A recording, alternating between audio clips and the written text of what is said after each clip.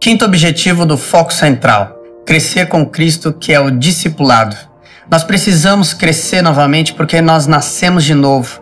Como nós falamos no primeiro objetivo, nós negamos o ego e então nós nos esvaziamos de nós mesmos. Somos como os bebês espirituais e nós devemos agora crescer, mas crescer baseados na palavra. Jesus ele ensinou aos seus discípulos em Mateus 28, 20 a ensinar os novos discípulos a obedecer a tudo que ele os ordenou. E isso é o que? É a palavra de Deus. Nós devemos crescer em Cristo, crescer com Cristo na palavra de Deus, que é a base de tudo para as nossas vidas.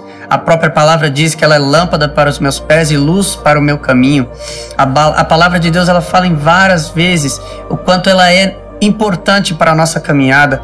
A palavra de Deus fala em Colossenses 3,16 para que possamos fazer com que ela habite ricamente dentro de nós. É a Bíblia que é eficaz, ela é poderosa para nos ensinar a viver tudo o que o Senhor tem para as nossas vidas. E nós devemos pedir ao Espírito Santo para nos revelar as verdades ocultas na palavra de Deus. Busque estudar a palavra, ler a palavra e o mais importante, aplicar e viver tudo que está na palavra de Deus. Em João 14, 21 diz que quem tem os meus mandamentos e os obedece, esses são os que me amam, Jesus falou.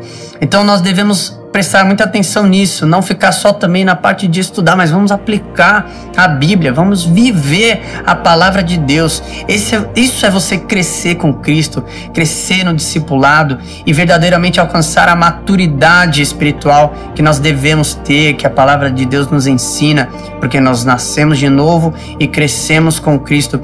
Então encorajo você a estudar a palavra, peça o Espírito Santo te revelar coisas novas e aplique, viva viva a palavra de Deus e vamos juntos continuar a nossa jornada crescendo com Cristo. Deus te abençoe.